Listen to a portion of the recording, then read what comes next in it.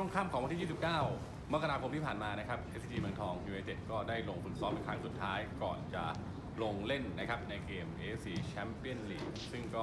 แน่นอนนะครับว่าอากาศช่วงค่ำค่อนข้างจะเย็นนะครับ จะเป็นอากาศที่คล้ายกับในวันแข่งขันจริงนะครับ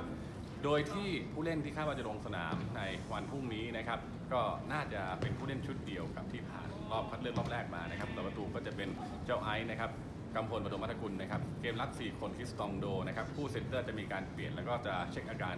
ของเซริโออีกครั้งหนึ่งนะครับ ถ้าหากว่าเซริโอไม่สมบูรณ์ก็จะเป็นอดิศรพรมรักจับคู่กับนุกูลกิจกรุดใหญ่นะครับแบ็กซ้ายจะเป็นพีรพัฒน์โน๊ตชัยยานะครับ ตรงกลางก็จะประกอบไปด้วยสารัชอยู่เย็นนะครับอีโฮ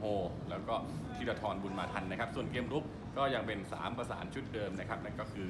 เฮอร์เบอร์ตี้เฟอร์นันเดสนะครับธีรศิลป์แดงดา แล้วก็อดิศักดิ์ไกรสอนนะครับ ส่วนจาจ้าก็ยังรอความฟิตอีกนิดหนึ่งอาจจะได้ลงในครึ่งหลังนะครับ ซึ่งเกมนัดนี้พลตะวันศรีปานก็ค่อนข้างมั่นใจนะครับว่ามีโอกาสที่จะได้ลุ้นกันยาวๆ เผลอๆอาจจะต้องเล่นกันถึงต่อเวลา หรือดวลจุดโทษเพื่อตัดสินหาผู้ชนะเข้ารอบแบ่งกลุ่มต่อไปครับ